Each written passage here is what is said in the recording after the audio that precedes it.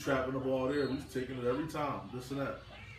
So that was the beauty of playing for Temple. Is you knew going in, we was always confident of our of our ability to win the game because we knew we was prepared mentally from coach.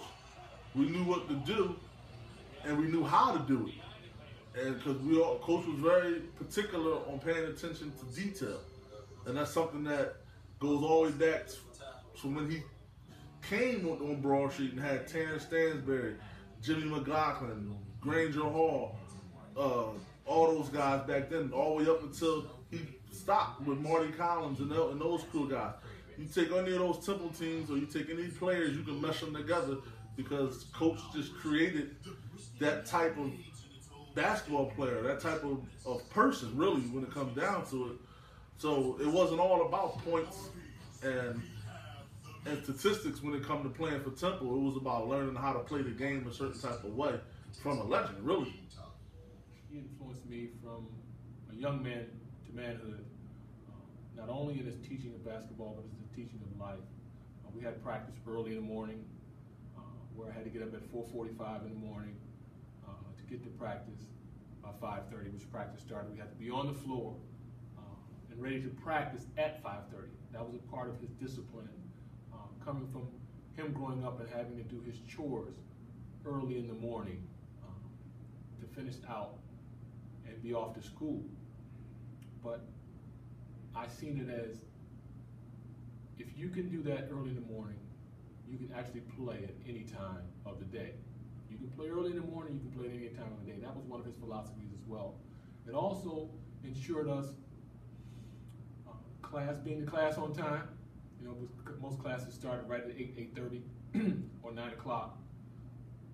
And it gave you most of the day or the rest of the day in order to do what you need to do. Your homework and all those things.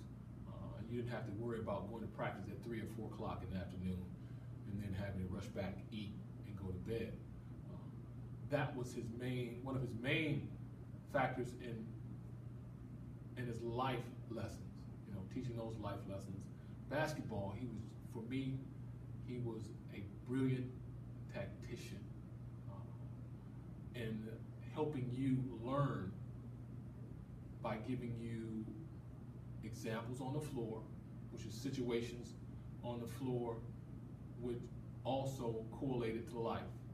Uh, slow to fast, uh, being able to look and see, see and enact. Um, and, and, we always talked about little small things, uh, time and distance, and, and that, that's in looking and seeing. When you are crossing the street, you have to notice how far or how fast a car is coming and the distance before you can act. So to see is to know, to know is to act. I see the car coming, I know how fast it's coming, and I can decide whether to cross the street or not cross the street. What I learned from Coach was actually how to coach and how to bring the classroom into coaching. Uh, one of my favorite stories about Coach was uh, me being at a practice and him going over entry passes. And he actually broke down the importance of entry passes into debits and credits and interest rates uh, to the point where I actually thought I was in, a, in, an accounting class, but actually I was at basketball practice. Uh, he, he, broke it down in reference to the perimeter player had to make the perfect parabola pass into the post, and the money that you deposit into the bank, which was the entry pass, the way you pass the ball and the way the post player received the ball actually determined how much money you were going to get back because the perimeter, the post defender could only guard the post uh, offensive player a certain way.